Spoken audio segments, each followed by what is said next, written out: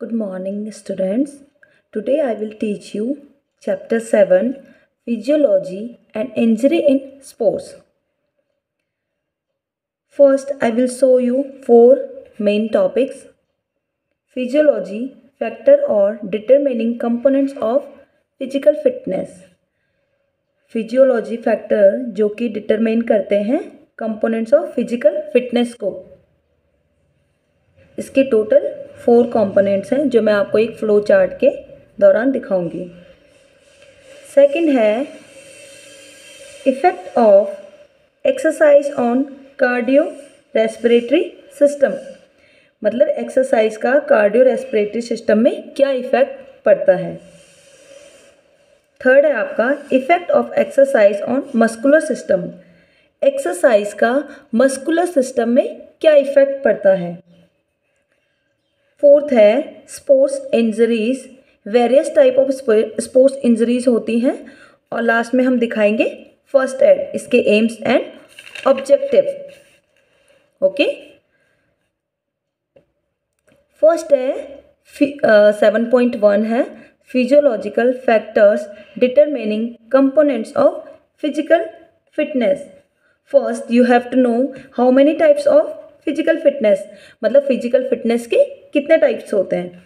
There are four main types of physical fitness first है आपका strength second है आपका स्पीड थर्ड है इंड्योरेंस और फोर्थ है फ्लेक्सिबिलिटी फ़र्स्ट है आपका strength size of muscles morphology of muscles body weight intensity of nerve impulsive fifth है आपका coordination of muscles that participate in movement और सिक्स है हाइपरट्रॉफी ऑफ़ मसल्स फ़र्स्ट है आपका साइज़ ऑफ़ मसल्स अगर size of muscles ज़्यादा रहेगी, अगर आपकी मसल्स की साइज़ बड़ी है तो आपको क्या रहेगी? स्ट्रेंथ भी आपकी अच्छी रहेगी. सेकंड है morphology of the muscles means structure of muscles अगर आपकी मसल्स का स्ट्रक्चर बड़ा है डिपेंड करती है आपकी स्ट्रेंथ पे. ओके? थर्ड है आपका बॉडी वेट आपका जितना बॉडी वेट आपका जितना ज़्यादा होगा, उसकी आपकी स्ट्रेंथ उतनी ही ज़्यादा होगी. फोर्थ है आपका intensity of nerve impulsive intensity of nerve impulsive nerve impulse पे भी क्या करती है? डिपेंड करती है आपकी स्ट्रेंथ फिर है फिफ्थ है आपका coordination of muscles that participate in movement, कोई भी मूवमेंट में पार्टिसिपेट करने के लिए मसल्स को कितना मसल्स कितना कोऑर्डिनेट करती है? हाइपरट्रॉफी ऑफ़ मसल्स अगर मसल्स की साइज़ में इंक्रीज होगा तो आपकी क्या होगी? मसल्स भी स्ट्रेंथ भी उसकी बढ़ेगी। सेकेंड पॉइंट है आपका speed explosive power muscles composition electricity and relaxing capacity of muscles, mobility of nervous system, biochemical reserve and metabolic power. First है आपका एक्सप्लोजिव पावर इट मीन्स आपके पास जितनी ज़्यादा एक्सप्लोजिव पावर होगी आपकी स्पीड उतनी अच्छी होगी। सेकेंड है मसल्स कंपोजिशन अगर आपकी मसल्स कंपोजिशन जितनी अच्छी होगी आपकी स्पीड भी क्या होगी? स्पीड पे भी उतना इफ़ेक्ट पड़ेगा। थर्ड है आपका इलास्टिसिटी अगर मसल्स आपकी इलास्टिक रहेगी तो आपकी क्या होगी? मसल्स ज़्यादा स्पीड को अटेंड कर पाएगी। आप ज़्यादा स्पीड को अटेंड कर पाओगे। फिर है कैपेसिटी ऑफ़ मसल्स मसल्स की कैपेसिटी जितनी अच्छी रहेगी, उतनी आपकी क्या होगी? मस उतनी आपकी स्पीड बढ़ेगी। फिर है आपका मोबिलिटी ऑफ़ नर्वस सिस्टम अगर नर्वस सिस्टम अच्छे से काम कर रहा है, अगर अच्छे से मूवमेंट कर रहा है, अगर अच्छे से वर्क कर रहा है तो आपकी स्पीड भी क्या होगी? अच्छी रहेगी।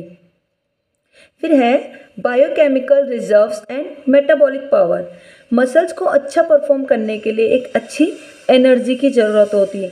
अगर आपका मेटाबॉलिक पावर अच्छे से काम कर रहा है तो आपकी क्या होगी? स्पीड भी अच्छी होगी। पॉइंट नंबर थर्ड है आपका इंड्योरेंस मतलब इंड्योरेंस किन किन फैक्टर से डिटरमाइन होती है? फ़र्स्ट है aerobic capacity anaerobic capacity movement economy और मसल्स कंपोजिशन पहला है एरोबिक कैपेसिटी होता है with the presence of oxygen anaerobic हो गया with the presence of without presence of oxygen third है मूवमेंट ऑफ़ इकोनॉमी कितनी कम एनर्जी के अंदर हम कोई भी मूवमेंट को परफॉर्म करते हैं। अगर आप जितनी कम एनर्जी में हम कोई भी मूवमेंट को परफॉर्म करेंगे तो आपकी क्या होगी? इंडोरेंस उतनी ज़्यादा बढ़ेगी। फोर्थ है मसल्स कंपोजिशन मसल्स कंपोजिशन आपका जितना अच्छा रहेगा इंडोरेंस भी आपकी उतनी अच्छी रहेगी और आपकी क्या होगी? स्टेमिना भी बढ़ेगा। नंबर फोर्थ है आपका फ्लेक्सिबिलिटी किन किन फैक्टर से डिटरमाइन होता है फ्लेक्सिबिलिटी फ़र्स्ट है anatomical structure of joints anatomical structure of joint में क्या होगा कि आपके जॉइंट का जो स्ट्रक्चर वो क्या है? किस तरीके से आपका स्ट्रक्चर है? अगर जॉइंट का स्ट्रक्चर अच्छा रहेगा तो डेफिनेटली आपकी फ्लेक्सिबिलिटी भी अच्छी रहेगी। एज एंड सेक्स एज पे भी डिपेंड करता है। अगर आपकी धीरे धीरे जैसे आपकी छोटे छोटे से आपकी धीरे धीरे एज अगर बढ़ेगी तो आपकी क्या होगी? फ्लेक्सिबिलिटी क्या हो जाती है? कम होती है।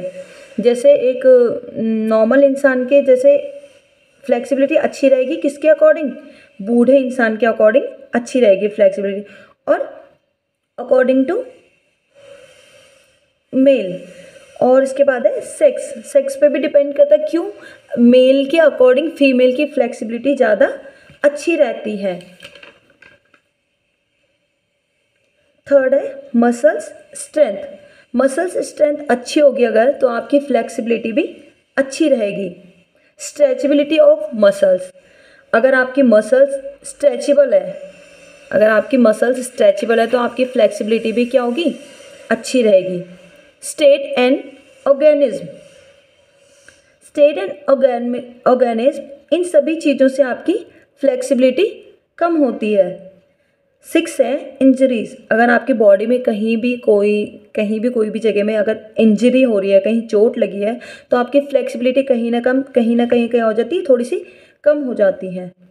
स्ट्रेचिंग मसल्स अगर मसल्स आपकी अच्छे से स्ट्रेच कर रही है तो आपकी फ्लेक्सिबिलिटी भी क्या, अच्छी हो जाती एनवायरमेंट मौसम के अकॉर्डिंग अगर आपकी बॉडी क्या करती है फ्लेक्सिबल रहती है। जैसे आपको, आपने देखा होगा कि गर्मियों में आपकी बॉडी ज़्यादा ज़्यादा फ्लेक्सिबल रहती है अकॉर्डिंग टू विंटर विंटर में क्या होता है? सर्दियों में आपकी बॉडी बॉडी फ्लेक्सिबल कम फ्लेक्सिबल रहती है। पॉइंट नंबर नाइन है एक्टिव एंड मोशनलेस लाइफस्टाइल अगर आपकी लाइफस्टाइल एक्टिव है मतलब अगर आप सुबह उठ के जल्दी से टाइम पे उठ जाते हो, अगर आपकी वर्कआउट अगर आप अच्छे से करते हो फिजिकली फिट रहते हो तो क्या होता है? आपकी फ्लेक्सिबिलिटी भी अच्छी रहेगी। और अगर आप एक ही जगह में बैठे रहोगे या बिस्तर में ही रहोगे तो फ़िज़िकल वर्कआउट नहीं करोगे तो आपकी बॉडी क्या होगी? कम फ्लेक्सिबल होगी। मतलब इतनी इतनी अच्छी फ्लेक्सिबल नहीं होगी। ठीक है? आगे का टॉपिक मैं आपको नेक्स्ट वीडियो में दूँगी। Thank you